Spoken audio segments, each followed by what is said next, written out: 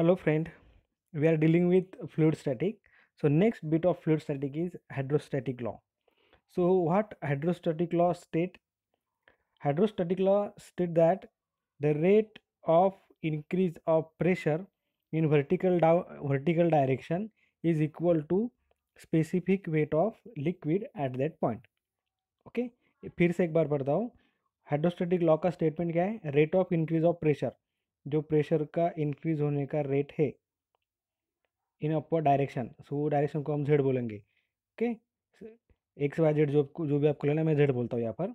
The rate of change of pressure in vertical direction is equal to specific weight of liquid at that point ये W का indicate करता है specific weight now you know very well specific weight is is name for weight density okay weight density का दूसरा नाम specific weight है weight density okay so in short this is hydrostatic law that is rate of change of pressure in vertical direction is equal to specific weight of liquid at that point ये बात ध्यान में रखिए specific weight मतलब weight density weight density मतलब weight upon volume ये small W है, जो इंडिकेट करता है स्पेसिफिक वेट को। स्पेसिफिक वेट को हम क्या लिख सकते हैं? कैपिटल डब्ल्यू मतलब weight upon volume okay now we want to prove this that is the rate of increase of pressure in vertical direction is equal to specific weight of liquid at that point अब हमें prove करना है। तो हम क्या करेंगे यहाँ पर? हमने एक छोटा सा एलिमेंट यहाँ पर सेलेक्ट किया, जो यहाँ पर देखो। क्लियर और जो वर्टिकल डायरेक्शन है, उसे हम जेड बोलेंगे, वो हम जेड पकड़ रहे clear understood now look at this figure pressure pressure is acting in all direction देखो ऊपर से भी एक्ट हो रहा है नीचे से भी एक्ट हो रहा है ईट साइड से भी एक्ट हो रहा है। ओके okay, uh, ये एक्चुअली ऐसे नीचे रहता है। ओके okay, क्लियर तो ये जो uh, ये जो हॉरिजेंटल डायरेक्शन में प्रेशर वो इक्वल एंड अपोजिट रहते तो वो एक एक दूसरे में कैंसिल हो जाते लेकिन इनका ऐसा नहीं रहता क्योंकि हमें प्रूव भी करना है कि वर्टिकल डायरेक्शन में प्रेशर चेंजेस हो रहा है। वो कितना चेंज हो रहा है? उस लिक्विड के स्पेसिफिक वेट इतना। ओके मतलब ये वर्टिकल वाले दो सेम नहीं है। तो हम क्या जूम करेंगे? नीचे के बे फेस पे प्रेशर एक्ट हो रहा है। Okay suppose that pressure is P ये जो प्रेशर एक्ट हो रहा है suppose that pressure is P clear and इस प्रेशर का ऊपर के डायरेक्शन में चेंज होने का रेट क्या है? D P by d Z clear? ये जो प्रेशर है, ये वर्टिकल डायरेक्शन में चेंज होने का रेट क्या है उसका? D P by d Z okay?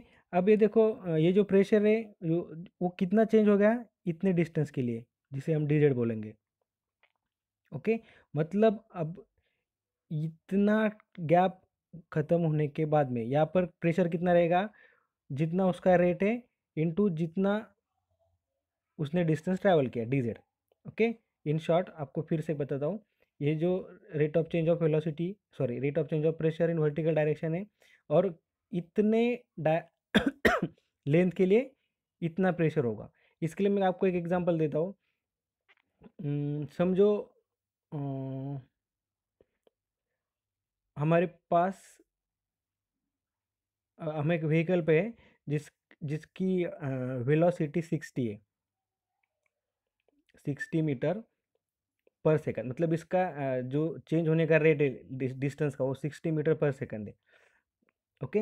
एक सेकंड में साठ है। तो दस सेकंड में कितना रहेगा? दस सेकंड दस सेकंड में वो कितनी दूर जाएगी? Sixty into ten, six hundred. बराबर? सिक्स हंड्रेड मीटर वो ट्रैवल करेगी। ये बात समझ में आ गई? ये सिक्सटी क्या था?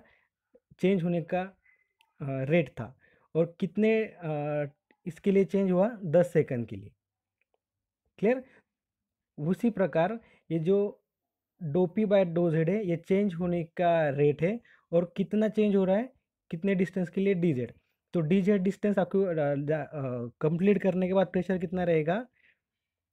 पी वो कितना चेंज हो गया? Do P by do Z into D Z clear? मेरे हिसाब से ये बात तो क्लियर हो गई होगी अभी, जो आपने डिस्टेंस का एग्जांपल लिया। तो ये ये प्रेशर कौन सा है, जो इतने डिस्टेंस के लिए चेंज हुआ हो? और ये तो ओरिजिनल प्रेशर ही है मतलब ऊपर से कितना प्रेशर एक्ट होगा, इतना वाला। ये बहुत इंपॉर्टेंट चीज़ है, ओके? तो ये नीचे से प्रेशर ऑफ़ एक्ट हो रहा है पी और ऊपर से एक्ट हो रहा है P plus do P by do Z into D Z ये इतने डिस्टेंस के लिए डी जेड के लिए इतना प्रेशर ऐड हुआ। क्लियर? अब देखो, ये जो फेस ए बी है ये जो फेस ए बी है उसका एरिया हम डी ए पकड़ेंगे, ओके? ये एक्चुअल में कैसा है, मैं आपको थ्री डी दिखाता हूँ। ये अपना ए, ये बी, ये सी, ये डी, ये कैसा है? ऐसा है। ओके? ये जो ऊपर का पार्ट है, हमें दिख नहीं रहा है। तो ये ऊपर के पार्ट का एरिया कितना है, सपोज़ ये पकड़ो ए यहाँ पर ए लिखा है तो ये, ओके? मतलब ये ये जो जो भी जो भी प्रेशर एक्ट हो रहा है, वो इतने एरिया पर एक्ट हो रहा है। क्लियर? वो एरिया हम वो एरिया हम लेंगे समझ में आ गया? अब हमारे पास दो प्रेशर फोर्स है, एक जो ऊपर से एक्ट हो रहा है और एक जो नीचे से एक्ट हो रहा है, ओके? इसके अलावा ये जो एलिमेंट है, इसका खुद का वेट रहेगा, वो वेट हम पकड़ेंगे डब्ल्यू बराबर? मतलब वर्टिकल वर्टिकल डायरेक्शन में हमारे पास अब तीन चीज़ें, जो वर्टिकल डायरेक्शन से एक्ट हो रहा है, वो प्रेशर, जो नीचे से ऊपर एक्ट हो रहा है, वो प्रेशर फोर्स, वो प्रेशर फोर्स, और ये उसका खुद का वेट। ठीक है? समझ में आ गया? देखो वेट और ये प्रेशर डाउनवर्ड डायरेक्शन में और ये अपवर्ड तो इक्विलिब्रियम में क्या रहेगा? अपवर्ड इक्वल्स टू डाउनवर्ड तो ये अभी हम ये प्रेशर फोर्स निकालेंगे। यहाँ पर इंटेंसिटी के पी ए प्रेशर मतलब फोर्स अपॉन एरिया तो फोर्स कितना आएगा? प्रेशर इंटू एरिया तो कितना प्रेशर फोर्स एक्ट हो रहा है? P into D A D A क्या है? वो फेस का एरिया जो मैं आपको पहले अभी बताया थ्री डी निकाल के। ओके सिमिलरली ये इस, यहाँ पर कितना प्रेशर फोर्स रहेगा? ये चेंज ये जो प्रेशर है ये इंटू डी ओके? जो यहाँ पर लिखा है। क्लियर? अब दूसरी बात, अब हमें वेट निकालना है। तो weight weight simple, very simple है। वेट को हम क्या लिखेंगे?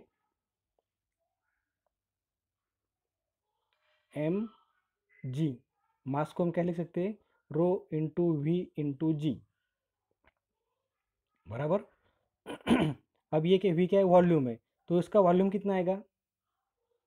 फिर से थ्री डी निकालता हूँ मैं। हमें ये एरिया मालूम है। Area into depth is nothing but volume तो कितना वॉल्यूम मिला? या तो हमारे पास कितना वेट होगा यहाँ पर?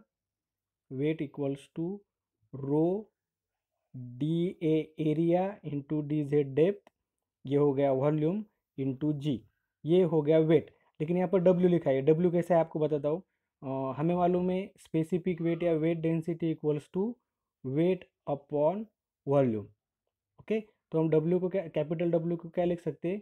Small W into volume small W मतलब स्पेसिफिक वेट और वेट डेंसिटी तो small W as it is और जो वॉल्यूम है D into D Z यहाँ पर लिखा ओके अब देखो इसको सिंप्लीफाई किया है।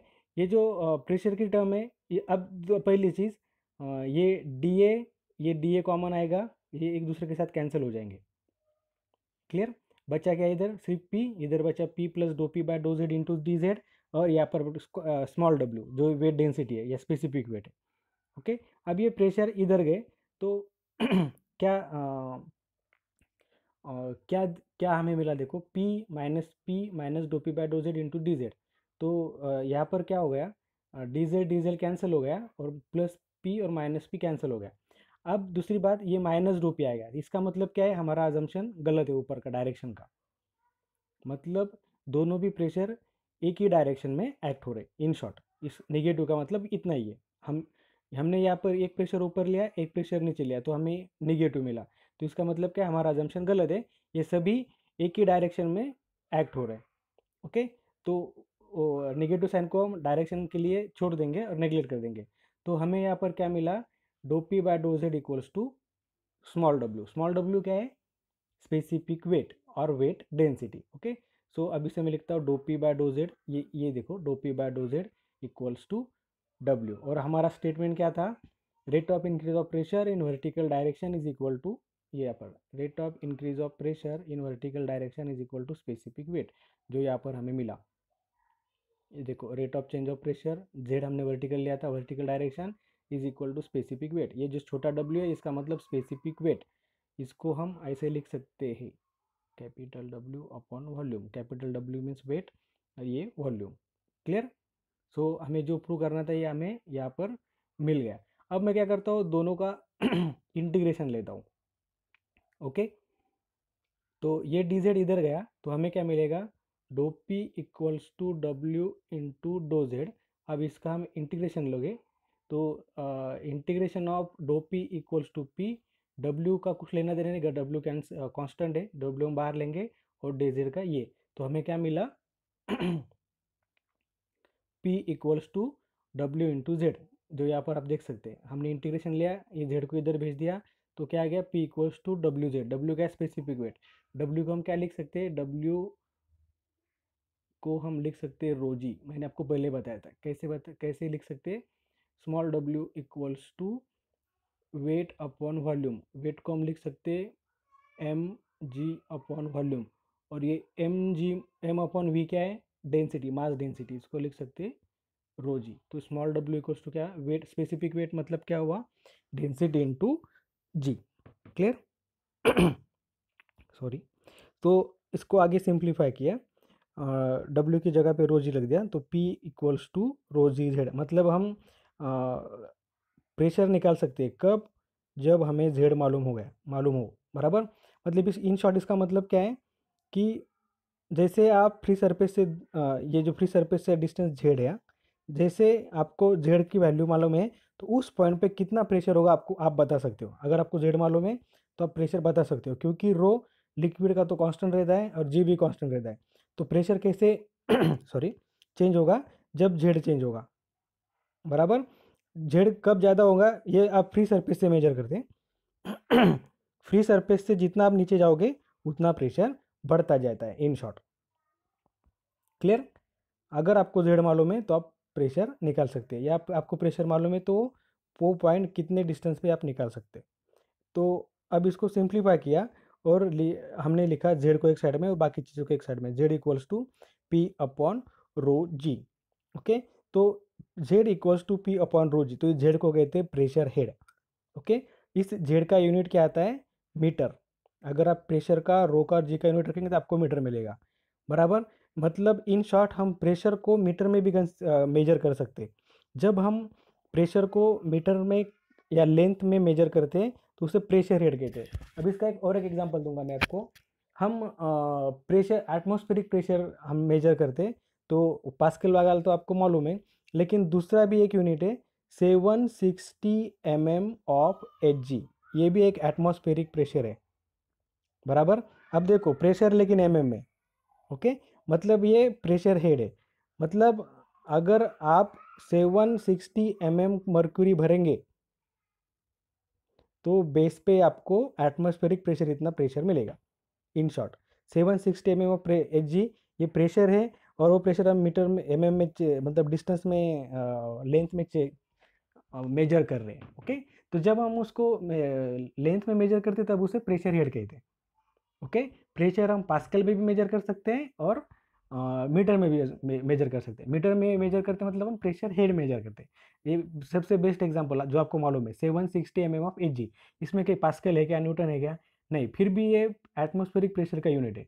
मतलब एच जी मतलब मर्क्यूरी। मर्क्यूरी जब seven sixty M M high होंगी किसी बेस से तो बेस पे कितना प्रेशर एग्जर्ट करी वो करेगी वो एटमोस्फेरिक प्रेशर जितना। क्लियर?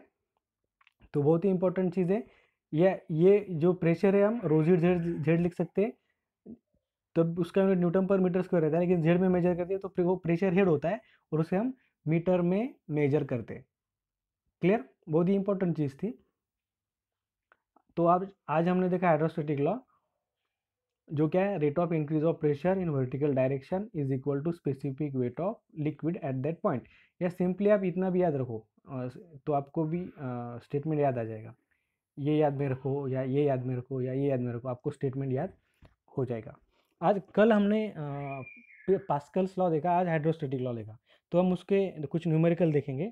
तो सबसे पहले शुरुआत करता हूँ पास्कल लॉ की। दोनों एक सरीके पास्कल लॉ प्रेशर के बारे में बात करता है और प्रेशर कैसे निकलना है हाइड्रोस्टेटिक लॉ बात करता है। तो पहला एक न्यूमेरिकल है।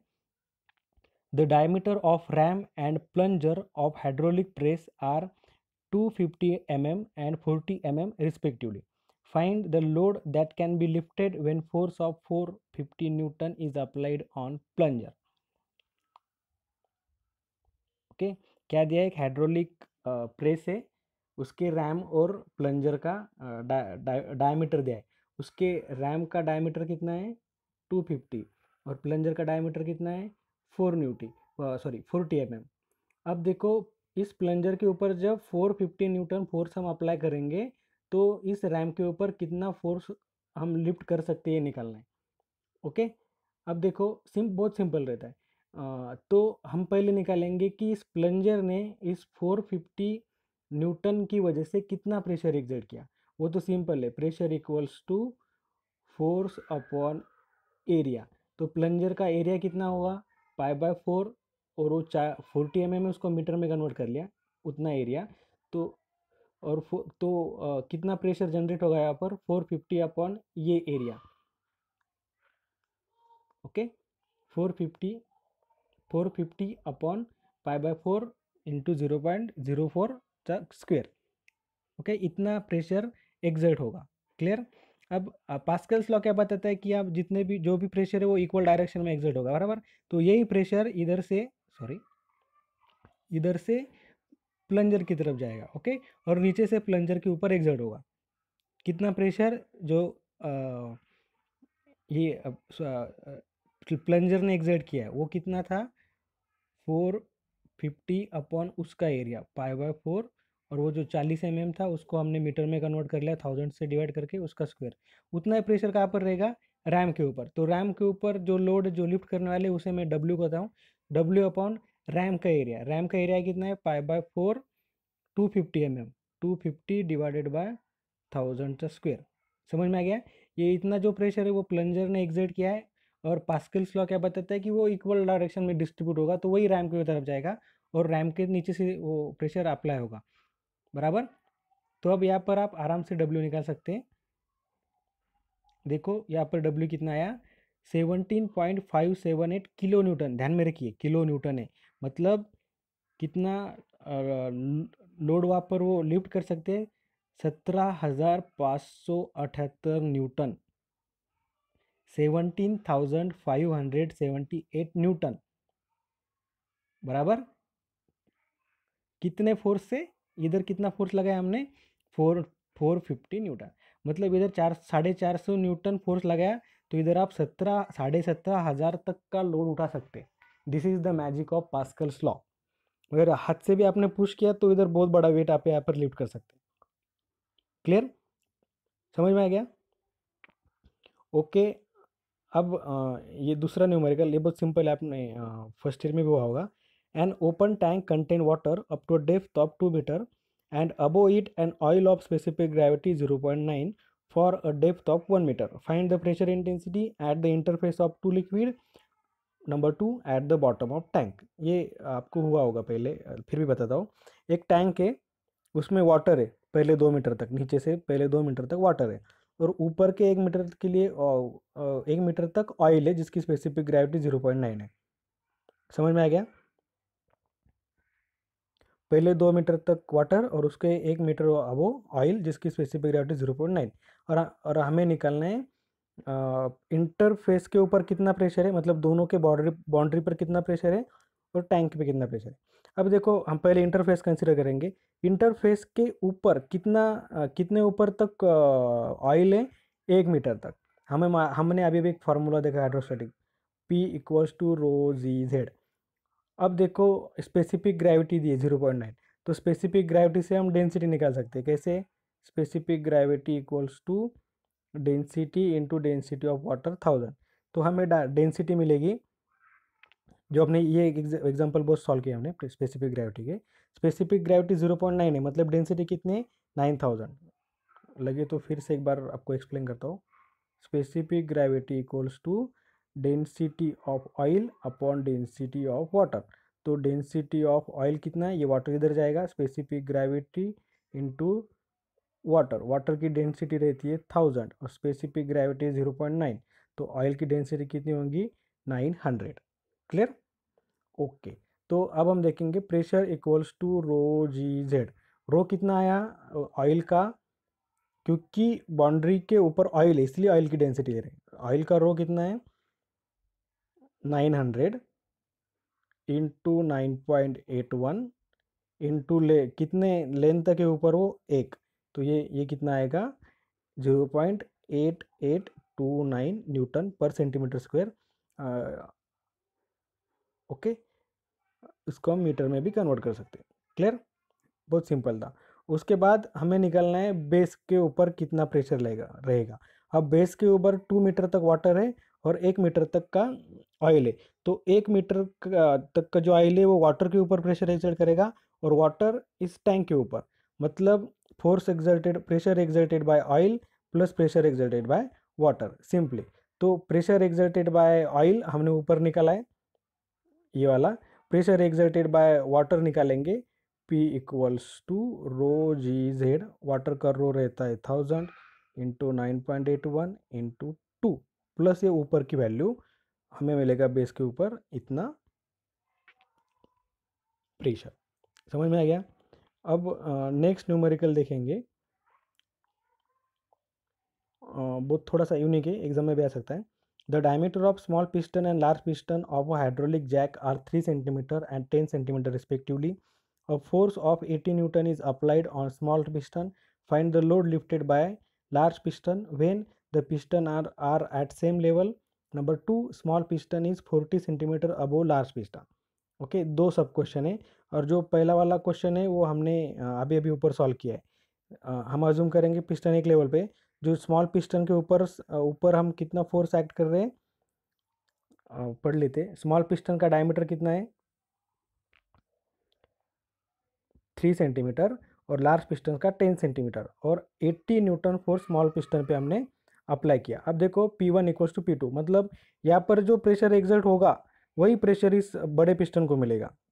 क्लियर तो P one equals to P two यहाँ पर हम क्या लिखेंगे? F one upon area one और जो ले, वो लोड लिफ्ट करना है, उसे हम डब्ल्यू कहेंगे डब्ल्यू अपॉन ए टू तो डब्ल्यू इक्वल्स टू उसको थोड़ा रीअरेंज किया A two by A one तो फोर्स कितना, या पहले तरीके से भी निकाल सकते पहले प्रेशर निकाल लो इसका प्रेशर निकाल लो और इसके साथ कंपेयर करो। तो फोर्स है एटी और दोनों के एरिया को हमने लिया, वो तो कितना लोड लिफ्ट कर रहे हो eight eight eight point nine six newton. देखिए, इसमें भी देखिए इधर सिर्फ़ एट्टी न्यूटन अप्लाई कर रहे हो तो इधर आपको almost eight eight eight newton lift हो रहा है। ओके? समझ में आ गया? ये दोनों एक लेवल पे थे तो कितना फोर्स वो कितना लोड वो लिफ्ट कर रहा है, कर रहा है eight eight eight point nine six newton. अब हम देखेंगे कि अगर, दूसरे केस में, जो जो छोटा पिस्टन है, जो स्मॉल पिस्टन है वो 40 सेंटीमीटर अबो है, ये बड़े पिस्टन से। ओके, अब इसमें दूसरी बात ये जो small piston pressure force exert करेगा, वो अलग बात, और इस 40 सेंटीमीटर हाइट की वजह से जो खुद प्रेशर क्रिएट होगा, क्योंकि आपको मालूम है P equals to rho G Z इस जेड की वजह से जो भी प्रेशर होगा, वो भी उसमें ऐड होगा। ओके तो इसने ऊपर से कितना प्रेशर एग्जर्ट किया है, वो तो हम इजीली निकाल सकते हैं eighty upon eighty newton upon area अब हम अब हम देखेंगे कि इस 40 सेंटीमीटर की वजह से कितना प्रेशर वहाँ पे क्रिएट होता है। बाय यूजिंग और formula P equals to rho g h rho g h बोलो या रो जी जेड बोलो आपको जो इजी लगे वो। तो यहाँ पर वाटर है कोई लिक्विड देने तो हम वाटर कंसिडर करेंगे वाटर है। उसकी डेंसिटी है थाउज़ेंड जी ए नाइन पॉइंट एट वन और कितना आ, कितना हाइट में वो ऑक्यूपाई हुआ है? चालीस सेंटीमीटर उसको हमने मीटर में कन्वर्ट कर लिया। तो कितना फोर्स वहाँ पर एग्जिट हुआ? कितना प्रेशर वहाँ पर एग्जर्ट हुआ? Zero point three nine two four बराबर? क्लियर मतलब यहाँ पर कुल मिला के आपको कितना प्रेशर मिल रहा है? ये स्मॉल पिस्टन के 80 न्यूटन वाला फोर्स जो प्रेशर क्रिएट कर रहा है वो, जिसे हम बोलेंगे P1 प्लस ये 40 सेंटीमीटर की वजह से जो प्रेशर क्रिएट हो रहा है वो zero point three nine two four अब ये जो प्रेशर है वही इस रैम को मिलेगा। ओके जो आप आप, मैं आपको आसान मिले तो वो आप कर लो। तो ये जो प्रेशर है पी टू ये इस बड़े पिस्टन को जाएगा। बड़े पिस्टन को हम लिख सकते हैं W upon five by four उसका जो एरिया है ten centimetre ten upon okay ये पी टू आपको यहाँ पर मिलेगा। आप डब्ल्यू आराम से निकाल सकते हो। क्लियर तो ये रहे कुछ हाइड्रोस्टेटिक लॉ और पास्कल्स लॉ के न्यूमेरिकल इसमें भी एक आध न्यूमेरिकल एग्ज़ाम में आ सकता है और हाइड्रोस्टेटिक लॉ का भी एक्सप्रेशन एग्ज़ाम में आ सकता है और पास्कल लॉ का भी एक्सप्रेशन एग्ज़ाम में आ सकता है। Okay thank you